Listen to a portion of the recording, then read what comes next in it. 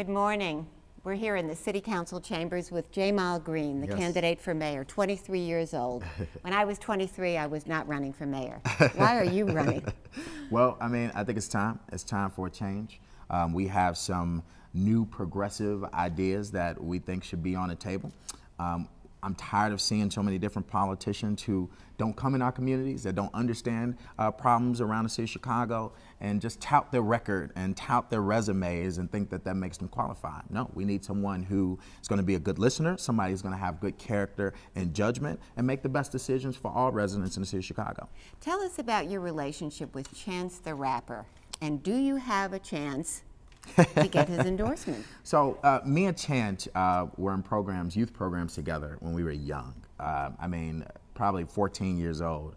Um, and he brought me into uh, the music scene at YOUmedia here in Washington. Um, his father has been a mentor Ken of Bennett. mine. Ken Bennett uh, has been a mentor of mine for several years. Ken actually partnered my company with the city when I was 18 years old. Um, so uh, me and that family, you know, we, we go back to when I was a young boy, um, and, and we, we still see each other and talk to this day. So um, who knows what will happen in this race? Well, I mean, you, your friends, do you have a chance to get his endorsement? And what would it mean if you did? Well, you know, I've been in, in contact and working with his organization uh, for the past year. Uh, my organization, Majesty All Stars and SocialWorks. Um, the head of, of SocialWorks uh, is, is a great friend of mine too.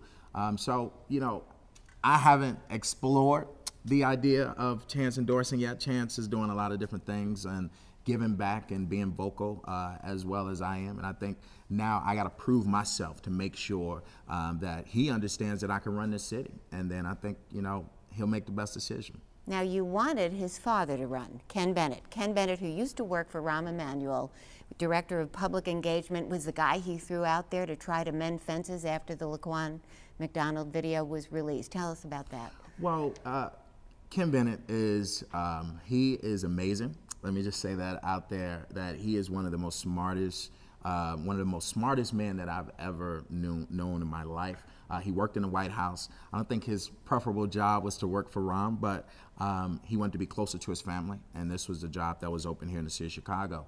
Um, he was one who tried to mend those relationships after Laquan McDonald, stressed him out a ton um, until he decided to to part ways with the administration. You told him Um, to get out. Yeah, And I mean- Chance told him to get out. Tell- talk about that. everybody. I, I mean, I think everybody uh, wanted to push uh, Ken out of out of the office just because we knew the type of man that he was. You know, he's not uh, corrupt. Uh, Ken is not one um, who. Uh, you know, had a part to play in the Laquan McDonald situation, um, and it sucks to be the one that every that that it all falls on, especially being the the black, um, you know, uh, person right up under Rahm. You're going to take the most heat because the communities know you. So um, I, I don't think he, he played a part, so we wanted him to, to, to get out. I think So you said get man. out, they're using you. What did you tell him? Well, you know, I was an activist, so you know, I was I was holding Ken accountable, but he was also like a father figure to me, so I couldn't hit him as much as I wanted to. But I told him, get out. You know, they're they're using you. You're the you're the token black man, and uh, Rahm Emanuel is just gonna you know uh, uh, keep on letting this stuff fall on you and not take responsibility uh, for it. So. I mean, he understood that. He had a lot of stress at that time. A lot Did of phone calls. Chance say the same thing to his dad? Yeah, I, I, I heard through the grapevine that um, you know Chance said those same things. Chance has has um, been very vocal already about you know uh, his distaste for Rahm Emanuel, and um, he even did it in a song not too long ago and said that uh, Rahm needed uh, to resign. Or uh, so you know I think he was saying the same things at the time. He also led the No Cop Academy uh, protest on the floor of the council. What's your position on that? And Yeah, if it's not, here. what do you what do you feel?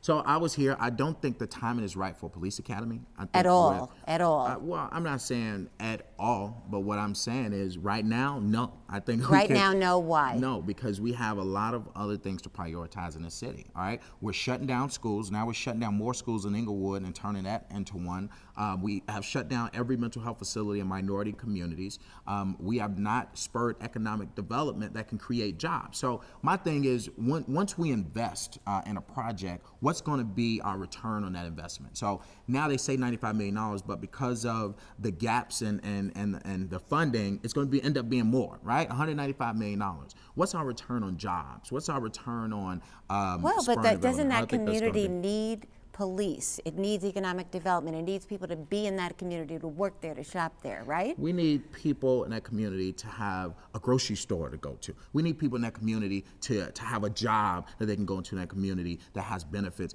I don't think this project right now will create jobs. You're talking about creating a handful of jobs.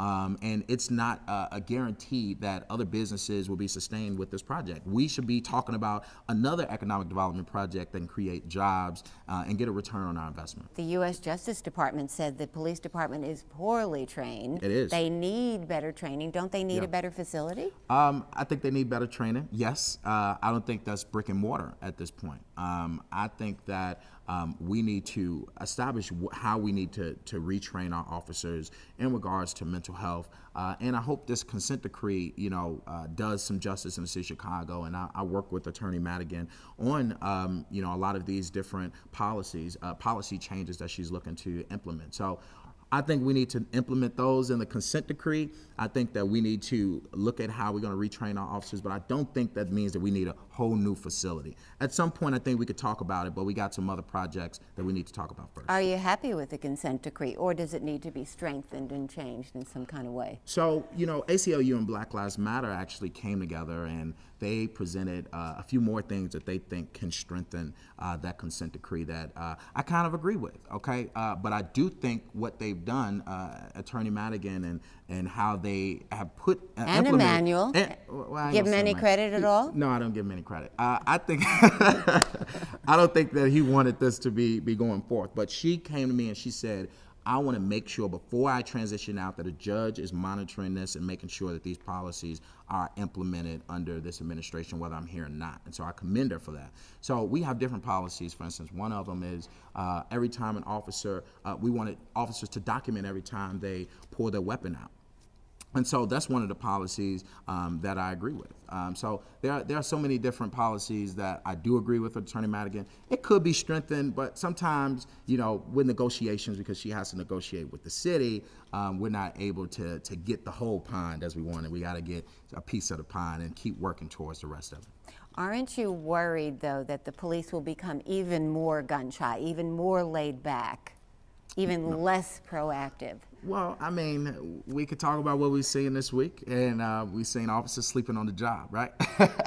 Well, But- and, and that's another story. That's another Like, story. You said But- it was because they were working too much overtime, that Emanuel's approach of flooding the streets of the five districts with up to 600 weekend officers was the wrong approach, was a burnout thing. They Yeah. say these two officers, these snoozing officers, in were not case. working overtime. one of them worked some overtime, uh, and the other one did. A little bit, nine hours in Yeah. two months or a month and a half or whatever. Right. So you were wrong about that. So what did that picture say, and what do you do about So it? with that, that, that there was some negligence there. Uh, that uh, police officers should definitely uh, they not they shouldn't be sleeping on the job, and both of them at the same time at that. Yeah, what, um, what is that? What is So, that, do you think? well, if not overtime burnout, what is it?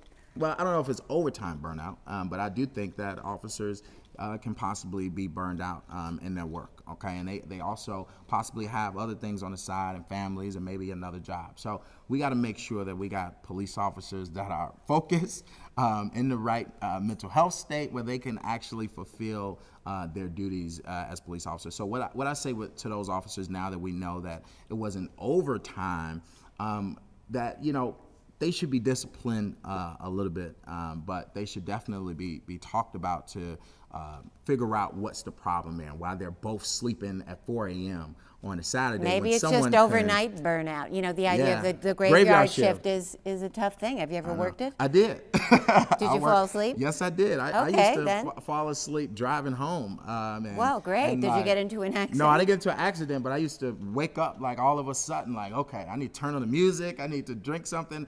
And right. so, you know, the graveyard shift is, is a little hard. So, yeah. Okay. What is your plan to stop the violence? Yeah. If not flooding the streets with police, then what? So our plan, and we're going to be releasing a more extensive plan. Right here uh, is fine. future- Right here. Why so not? I, I'll, I'll say some of the different things. So w- how I break it down is number one, it always starts in a home. right? And so um, when they come out of the home, they go into schools, they go into communities. So we as leadership fail them once they come out of the home. But we got to have programs to figure out how we can bridge that family structure in the home. So one of the things is we got a gas and a YAS program with guardian accountability services and youth accountability services. And so basically what that says is that if a young person, say they vandalize city property, we would make them eligible for this program instead of giving them a record and say you got to do a few months of this mentoring program or you have to do a certain number of community service hours or clean up what you did. Now, once YAS is uh, triggered, GAS is triggered, Guardian Accountability Services, where we would dispatch someone from the uh, from the city to see what's going on in a home, and we can recommend that they do a parenting class or recommend they do a certain number of community service hours with that kid if they got to do community service hours, or if they're on drugs, we will work with DCFS and, and mandate them to go to rehab, or we will put that child in a better home.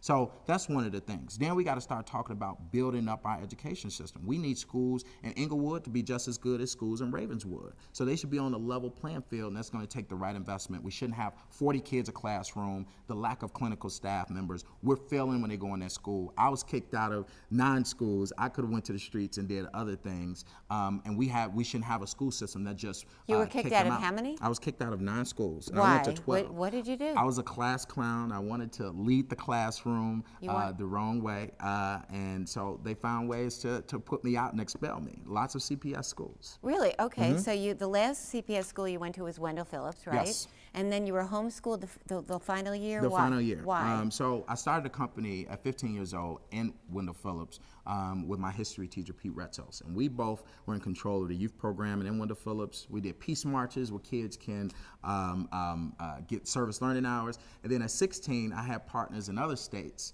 um, uh, that were doing the same thing. And we said, let's come together and do anti-bullying, anti-violence programs. So we expanded that, that company to uh, 15 different states when I was 16. I was going to Atlanta doing 30 schools at one time, and I had to be there so much. How did you become parent- class clown to that? yeah, so it was How'd mentorship. It was mentorship. I had mentors. Uh, one Bennett? with Mr. Rami, Ken Bennett uh, was another one um, who took the time with me and to talk to me and, and actually show me how I can channel my energy and talent on a positive way. And so, Now yeah. you have two children. Yes. You're not married. Tell us. Yeah. You had a kid. You have a two and three year old, right? Yeah, one would be three in a little bit. Yeah. Okay. Did that change you? Was that a mistake uh, in terms of initially? Of course, you don't view it that way now. But No. tell us how it changed you. Well, I mean, I didn't plan to have kids, but it matured me to, you know, who I am today. I don't think I would be running for mayor if I didn't have kids, um, because now my outlook on the community, even being an activist at the time when they were coming, um, now it changed because now it's like, okay,